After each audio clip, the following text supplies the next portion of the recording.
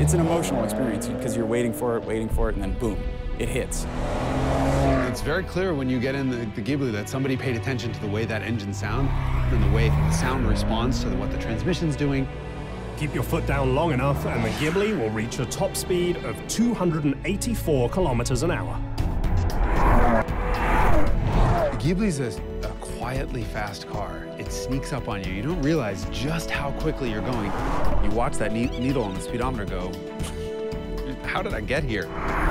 It pulls and pulls and pulls. Lightweight construction paired with 50-50 weight distribution help give the Ghibli a sporty feel on the track. One of the, the great things about Italian cars in general, and Maserati does this very well, is that they keep this emotional connection in the vehicle.